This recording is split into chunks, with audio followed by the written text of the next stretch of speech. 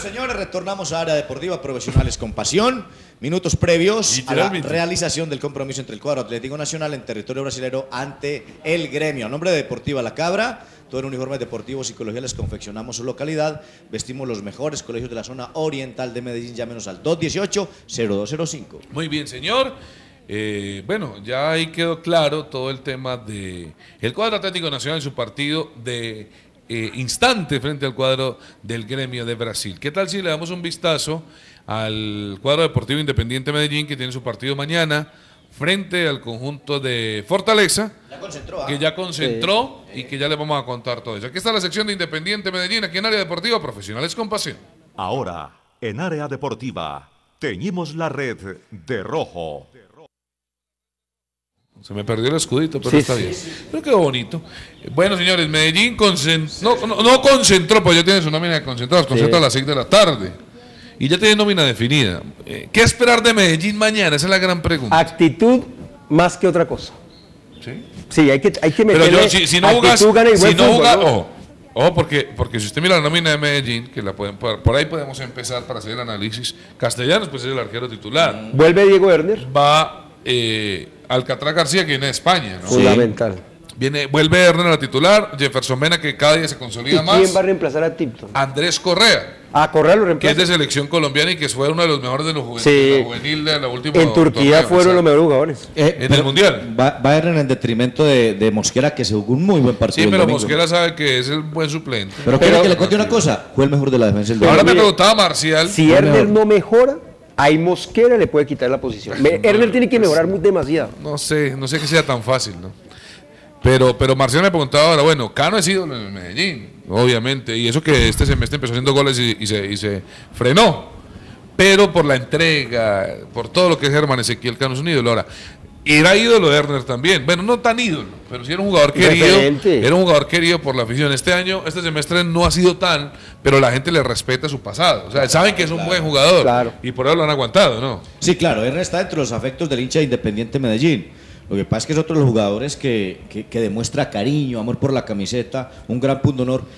Pero yo, yo lo que veo en Herrera es que un poquitito está contribuyendo al desorden de carácter táctico del equipo. O mejor, el desorden táctico del equipo en zona medular hace que Herrera muchas veces se desordene Pero- atrás y el pero yo queda una Pero. ¿sabe por qué? Porque pierden la pelota los volantes de recuperación y le toca salir unos metros que lo sacan de su posición. Sí, claro, Ahí es donde claro, él se ve totalmente desordenado. Porque él es muy bueno en la pared de centrales, los dos atrás. Pero cuando lo sacan de la posición o los delanteros se Es le colocan por un lado, ahí, ahí es donde Se la Ahora, tengo una pregunta. Eh, no hemos visto a Hernán en la era Hernán Torres, porque apenas dirigió un partido y Hernán estaba sancionado. Y Hernán Torres dijo, en la rueda de prensa, terminó el partido en, en Itagüí, que él siempre iba a mantener mínimo un 5. En el doble 5, que es Amílcar y, y Córdoba, Gerson Córdoba, iba siempre a estar uno fijo, que si se va uno, el otro tiene que quedar ahí como ancla.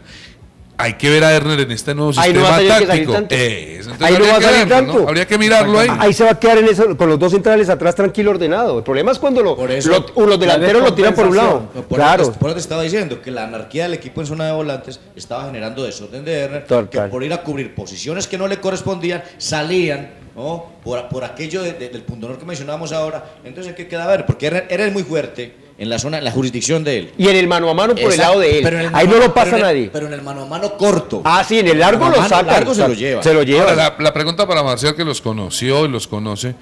Diego Werner en Argentina siempre fue un, un en el Cerro Porteño siempre fue un zaguero central de estas características, muy fuerte en su zona, pero, cuando se desprendía de la zona era complicado porque él no es rápido y, y en No es velocidad lo rápido lleva. por su contextura, eso pasa mucho con los centrales en Argentina. De buen cabezazo, ha hecho goles.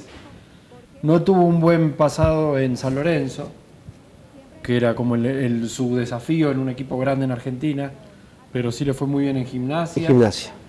Y es un jugador interesante, es un jugador que cualquier técnico puede tener bien acompañado y obviamente que con una línea de, de- de volantes centrales de marca, que eso le pasa mucho a Medellín también, es un equipo con pelota y sin pelota, con buen pie, con Giovanni o con Arboleda cuando juegan juntos, de descompensación en la marca. Entonces, eso le pasaba a Erne también, se descompensa la última línea, tiene que salir a buscar y queda desarmado y- y otro gran problema, eh, cuando le levantan la pelota al Medellín y él trata de salir a defender a Otra vez su cantaleta, No, no, lo pero- misma pero- cantaleta de todos los días. Igual, estoy Marco- cansado, hermano. Marco, es la verdad, es la verdad. Usted se cansa, pero todos los días... Estoy a decir- cansado de que diga, ¿cómo hacen de fácil goles de juego ahora en Colombia? Siempre yo- hay una cantaleta. Pero señor, no es una cantaleta. Él se ve ordenado. o sea, usted no va a dejar de echar cantaleta hasta que nos dejan de dar gol. No, no, no, no, esa es mi, mi misión del 2014. No voy a dejar de ser cantaleta. O Ya lo- marcamos bien o lo tengo que marcamos bien. soportar usted Así, con la cantaleta. y en la radio, en donde sea, me va a soportar. yo- o marcamos bien o marcamos bien. Juanca, Juanca, te ¿Y apoyo. Colombia marca bien?